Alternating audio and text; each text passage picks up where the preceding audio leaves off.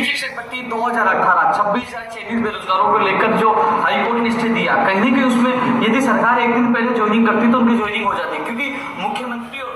Deputy CM पक्ष में लेकिन शिक्षा मंत्री ने एक दिन में दे देगी जिसका खामियाजा चयनित बेरोजगारों भुगतना पड़ा और सभी जिला परिषदों में वो सड़कों पे पड़े हुए बांसवाड़ा में तो पुलिस के द्वारा मारपीट की गई। एक अशोभनीय घटना है, मांग करते हैं कि उस पुलिस अधिकारी को बैठाया जाए और जो जोधपुर डिवीज़न बेंच में जो याचिका सरकार के द्वारा अपील की गई थी पूरी सरकार के उसको सरकार विड्रॉ करे, और नियुक्ति प्रक्रिया से रोक हटाने का काम करे और जल्द से जल्द ज्वाइनिंग देने का काम करे, यदि सरकार हमारी मांगों को नहीं मानती है तो प्रदेश भर में तमाम बेरोजगार कांग्रेस का साथ छोड़ेंगे, चाहे लोकसभा चुनाव हो, चाहे अभी की बात हो, सभी बेरोजगार सड़कों पर उतरेंगे। मैं खुद आमरण अनशन में बैठूँगा, क्योंकि सरकार का साथ हमने दिया, चाहे लोकसभा चुनाव हो, चाहे उपचुनाव हो, हर जगह जिंदाबाद बोला, हर जगह धन्यवाद दिया। लेकिन जिस प्रकार हम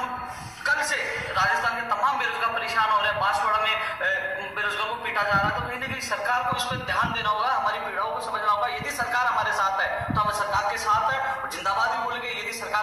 नहीं है तो हम सरकार के साथ नहीं है। हम जल्दी धरने पर बैठेंगे और जल्दी हमारी मांगों को बुलंद करेंगे। उपेन्द्र यादव राजस्थान बेरोजगार एकीकृत एक महासंघ।